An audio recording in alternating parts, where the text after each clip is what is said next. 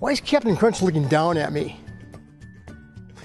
I'm Dr. Brian Wansink from the Cornell Food and Brand Lab. You know, we've been doing a bunch of really cool supermarket psychology studies, and the most recent one we did looks at breakfast cereals that are marketed toward kids. Uh, I'm a big lover of breakfast cereals, and my kids eat breakfast cereals.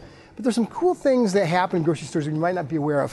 First of all, in studying over 100 breakfast cereals in a lot of different grocery stores, we find the average child's breakfast cereal is sitting 23 inches off the floor. The typical adult breakfast cereal is about 42 inches off the floor. Knee high to us, eye high to the kids, eye high to us. But we also found out is if you look at kids' breakfast cereals, their eyes almost always point down. In fact, there's about a four degree inflection point at which they're focusing down. Whereas if you look at adult breakfast cereals, they just look straight at you. One of the things we found is that if you have eye contact with something, even if somebody in a box, um, it looks more trustworthy and it increases your likelihood to purchase things. So, what's the big takeaway to a, to a loving, concerned parent who wants their kids to eat healthy? Well, one thing might be just not taking down the breakfast stuff food aisle to begin with.